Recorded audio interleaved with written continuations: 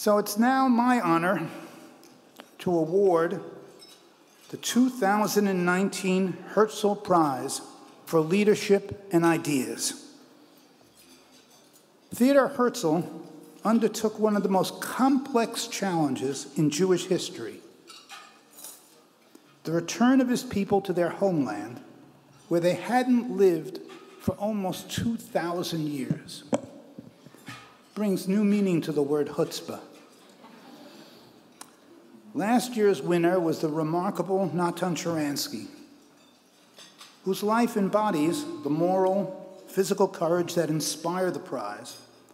A man who, like Herzl, was driven by an idea, a principle, more commanding than his own safety and survival. Awarded in this same spirit, this year's prize goes to Norman Podhoretz, the legendary editor of Commentary Magazine.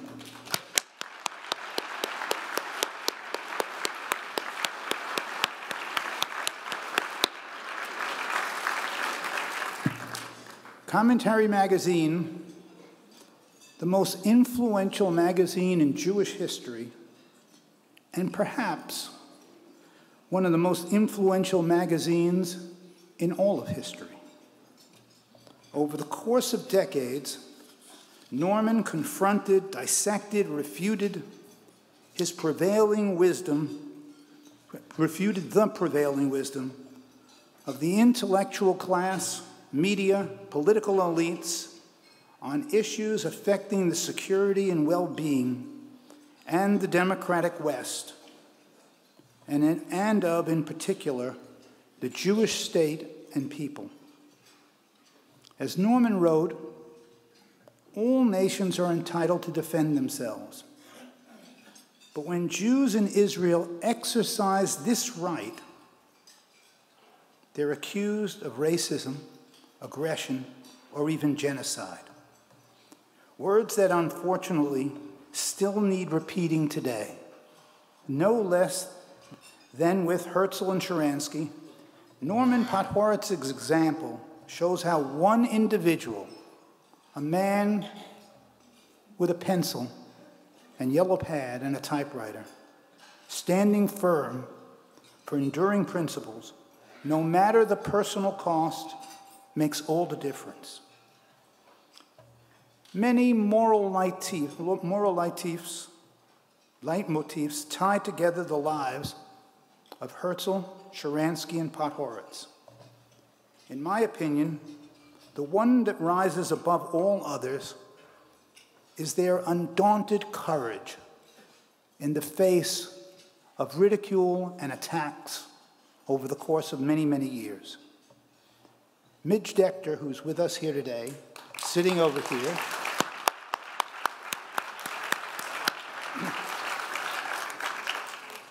Norman's heroic and brilliant wife of 63 years captured this idea well when she said, I bring him coffee, he brings me courage. And so he has for all of us. Finally, Commentary Magazine has been blessed with three great editors over the last 60 years, only three. The gentleman we're honoring today, Mr. Podhoretz to my right, appropriately to my right. His successor, the remarkable Neal Kozodoy.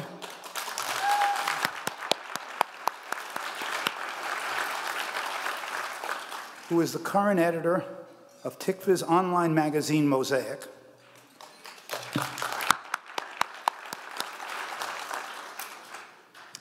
Norman's son, John, who has led a magazine for the past 10 years, and I think all the readers in this audience will agree, has continued its exceptional editorial excellence.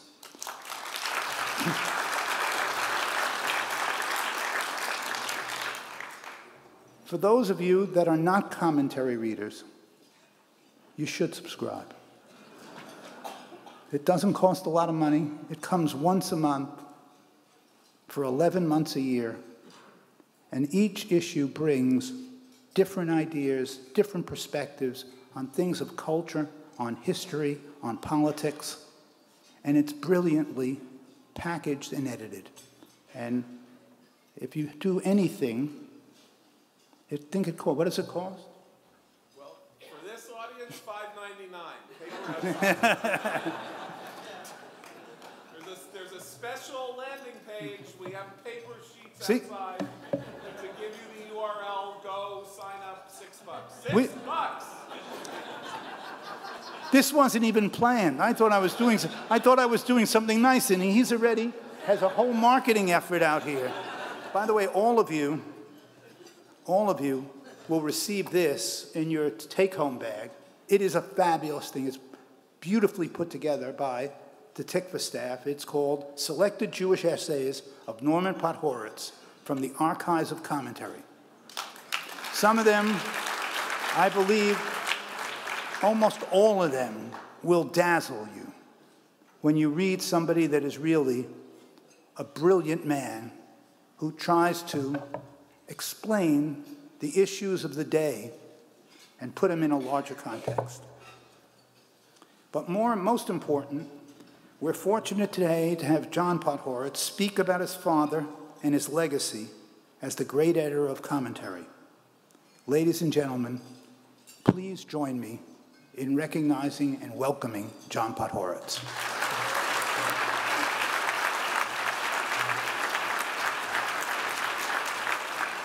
On January 16th, Norman Podhoretz will celebrate his 90th birthday.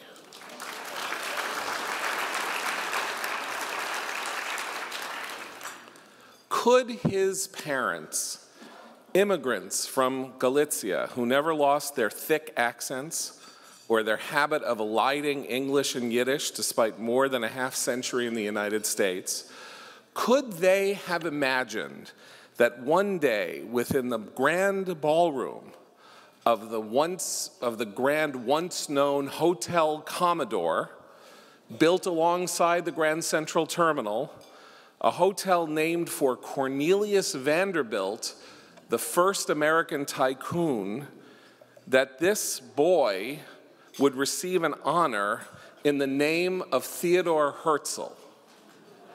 Cornelius Vanderbilt, Theodor Herzl, where would he come to know from Theodor Herzl?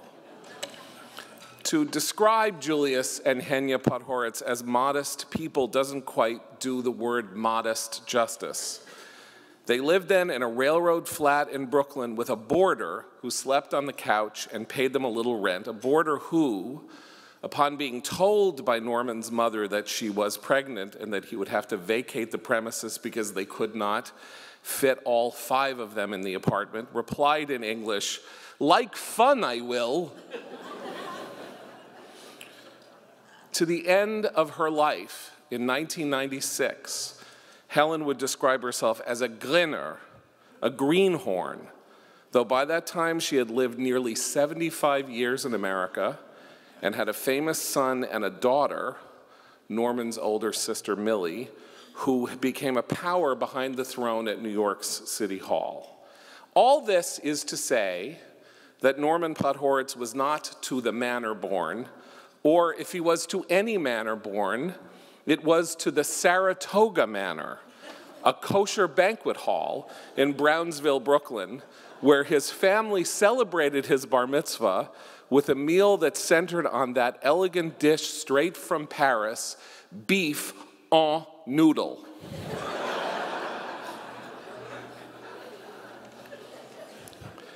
And yet he barreled through the half closed doors of American institutions with an almost boundless energy into Columbia College, not, over, not only overcoming its 16% quota on Jewish entrance, but winning a full scholarship besides, then to Cambridge University on a notable fellowship, and then into the strange and savage world he would call the family the New York Jewish intellectuals who never had a good word to say about anybody except maybe T.S. Eliot, and he wasn't looking too good either.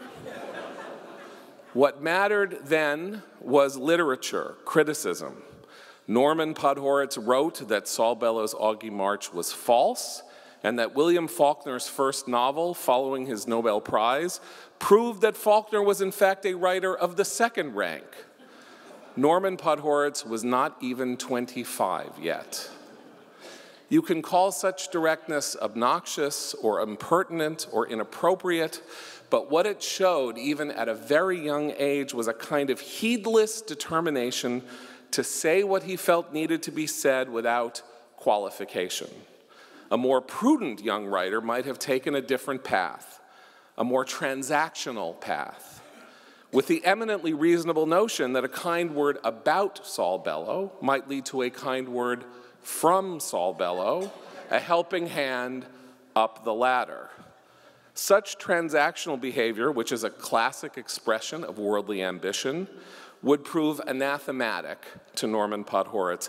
Even the thought of such intellectual compromise was likely to lead to even greater efforts at expressing critical judgment without fear or favor. When he took over as editor of Commentary in 1960 at the age of 30, one might say Norman Podhoretz chose to train a similar critical eye on the then current condition of the United States. Now, the country had done as well by him as any country on earth could ever have done in the course of human history for a lowly Jew with no yichus whatever, and he knew it. But even so, he felt there was something undone in America, something incomplete, something unsatisfying about the country that needed improvement, and he wasn't going to let his own feelings of gratitude get in the way of advocating for needed social and political change. And for this set of ideas, he was rewarded. From Saratoga Manor, he climbed to dine with presidents, pal around with celebrities. He knew where Norman Mailer was when Norman Mailer stabbed his wife and fled from the cops. He drank a lot, and where he drank, Elaine's, became the most famous bar in America he was taken to the famous graveyard of the Brahmins, the Sedgwick Pie in Great Barrington, Massachusetts, and seeing a 19th century headstone for a Sedgwick heir named Catherine, began dancing around singing, I wish that I could shimmy like my sister Kate. He was not yet 35. He was celebrated. He wasn't world famous, and he lived in a rent controlled apartment with a door for a dining room table, but he had a friend named Jackie Kennedy, and she once made fun of his clothing, and he told her to blank off. He was free, and he had to give it all up. Maybe he didn't know he was giving it all up by writing a book called Making It, a book that was supposed to tell it like it was and did, and then it turned out the people whom he told it about didn't like it being told about them one bit. What struck me reading it 15, 50 years later after its release is that despite his good standing at the time as a man of the left, it is a book about being a conservative, about believing in the fundamentals of Western culture, about having pride in an ancient ancestry and about his growing discomfort with the anti Americanism that was coming to govern the left. He did not realize, perhaps, that what he was doing was making an announcement that he could no longer abide by the orthodoxies of his own side. But they knew. His mentor, Lionel Trilling, even told him he needed to write a final chapter, taking it all back. And you know what? Maybe he should have done it. Maybe he should have taken it all back. Said he believed that despite everything he had just written, he believed America was a country so fatally flawed that seeking to make it here was to sell your soul and that we all needed to look higher. Maybe he should have done it, because you know why? He would have been happier. He would. He would have stayed friends with his friends who became his ex friends. He would have stayed at their houses on the Cape and gone to their parties and he wouldn't have found it necessary to vote for Nixon in 72.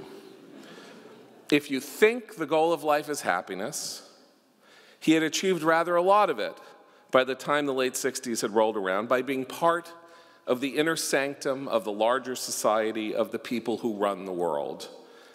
It might only have gotten better Maybe the chapter taking it all back would have changed the critical reception of making it, and it would have been a bestseller. And we could have moved to a better neighborhood where I wouldn't have gotten mugged four times before I was 14. I mean, that lousy socialist Irving Howe, he wrote a bestseller and he moved to East 83rd Street, just down from the Met. Well, Norman Podhoretz wasn't built for happiness, not in that way. He once came back from a dinner party, this is many years later, thrown by a New York hostess named Alice Mason. And he'd been seated next to some society lady who had said something about abortion and women's bodies or something like that. And he said they got into a huge fight, and it was very unpleasant, and he was sorry he had gone in the first place. And I said, why, why didn't you just nod and say nothing? After all, you have all kinds of outlets to express your views on these matters. She's just someone at a dinner party who spent five minutes in her entire life reflecting on any of these things. And he said, Well, I couldn't help myself. and he couldn't either. He had to speak up for that which needed speaking up for. Now, I'm going to let you in on a little secret. You know how you love Israel? You do. You love it. You go there, you get off the plane, you go to Tel Aviv or Jerusalem, you look around, you feel the miracle, the joy, the wonder.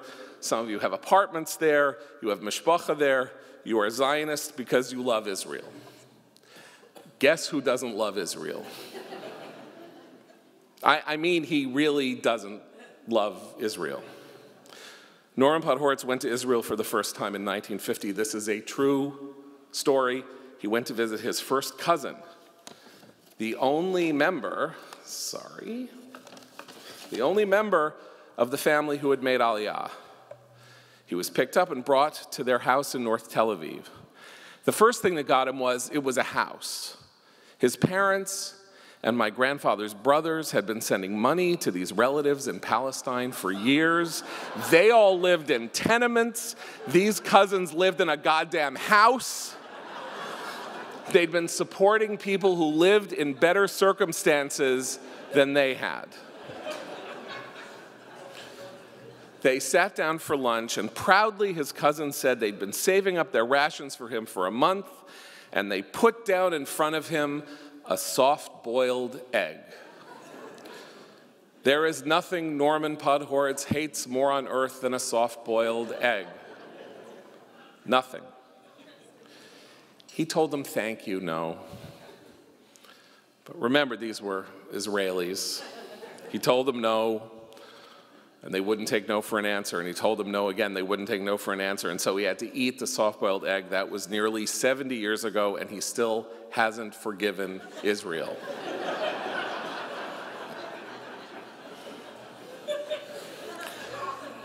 and yet, when there was no one among American intellectuals to defend Israel during the Lebanon invasion in 1982 who defended Israel. When there was no one who would take up arms against the anti Semitic assaults on Israel by the hell dwelling likes of Gore Vidal, who took up those arms? And whose shift to the right in the late 1960s came in part because he saw with prescience the way the left was moving hurriedly away from Israel and toward the Arabs who wished to destroy it in the wake of the 67 war. So, what I'm saying is that Norman Podhoretz hasn't lived his life in a way that was designed by his own lights to maximize his own happiness. Even the way he worked as an editor. He burnished those manuscripts issue after issue, year after year, decade after decade, until they glittered. The work of other people, other writers, whom he made look good in a task that is, for the most part, utterly thankless. I say for the most part to anyone in this room whom I edit. He was once editing an article by the eminent political scientist Hans Morgenthau, an emigre who had learned English later in life. Morgenthau objected to some revision of a sentence, but Hans Norman said what you wrote was ungrammatical, and in his thick German accent, Morgenthau said, And how would you know? He knew. He has written a dozen books, works of history, literary criticism, autobiography, biography, exegesis, political analysis. He is among the handful, and I mean the literal handful, of legendary American editors of the 20th century, acknowledged as such by all who understand what an editor is and what he does. As an editor, he published great essays, great fiction, great polemic, and he didn't even write all of them himself. He did it for 35 years with unflagging energy and ambition, and then, as Roger said, he turned the ship over to Neal Kozodoy, whose own meticulousness and fineness of vision and spirit made it the most formidable publication in America for another 14.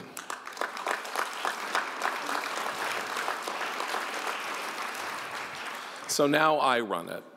It's not as good, but I try. So, what, as his 90th birthday approaches, what is it that Norman Podhoretz got in place of the social happiness, the being a part of the action?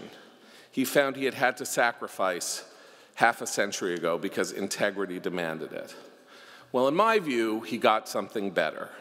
He got richness. He lived to see one of the two great evils of our age, the Soviet Union, vanished from the earth in part because of his determination to keep American leaders from acting out of weakness to prop it up. He has lived to see Israel, that nascent dump with the rationed soft boiled eggs, become the 28th wealthiest, wealthiest country on earth, engaged in secret alliances with Saudi Arabia, and has lived to see four grandchildren and two great grandchildren born on its soil.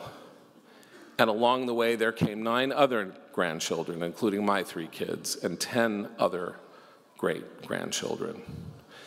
And we and they and all of you are the inheritors of his legacy, a legacy that demands of us that we tell the truth even when we wish to do anything but. A legacy that says a person born in these United States is a person who has been given the greatest reward any human being on this earth has ever been gifted. A legacy that calls upon us to look to the ancient past and to the wellspring from which we have risen, the revelation at Sinai, and the words of Devarim I call heaven and earth to record this day against you that I have set before you life and death, blessing and cursing. Therefore, choose life that both thou and thy seed may live. It is for these reasons that Tikvah has awarded Norman Podhoretz the Herzl Prize. and I speak for my sisters and my mother, for his 13 grandchildren, and for his 12 great grandchildren, in offering our most profound thanks to Roger Hertog and the Tikvah board for doing him this ineffable honor.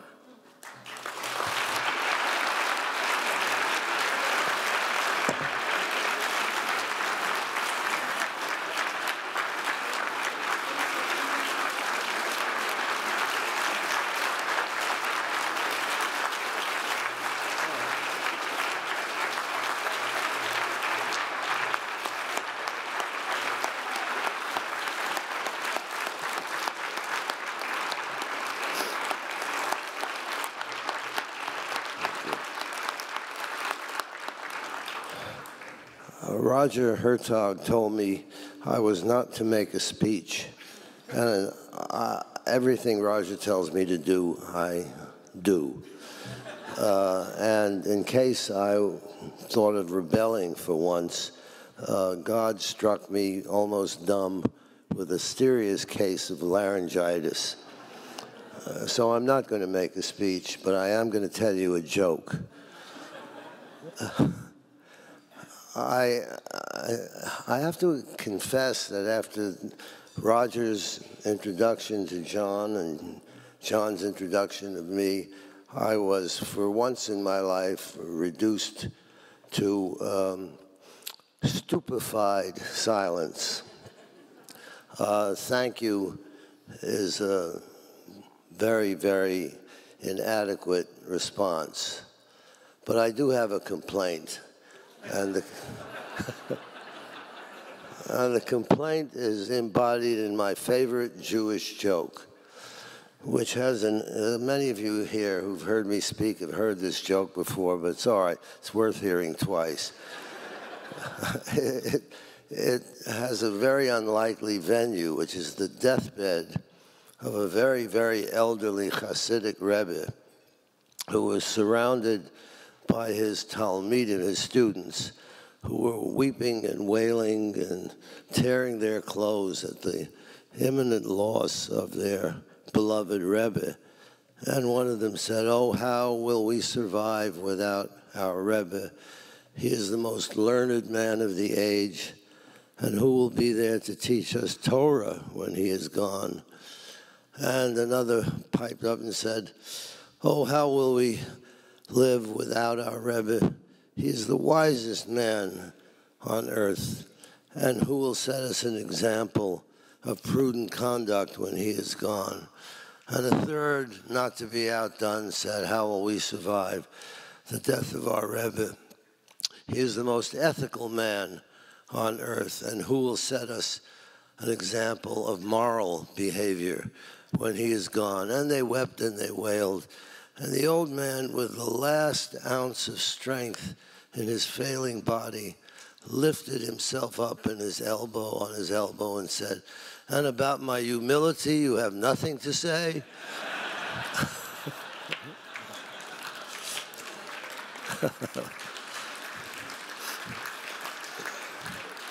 neither, neither Roger nor John had a word to say about my humility, which, is world famous. So I will once again thank Tikvah which this uh, uh, has grown into a formidable organization. Uh, I will thank Roger, to whom I owe um, more than I can calculate.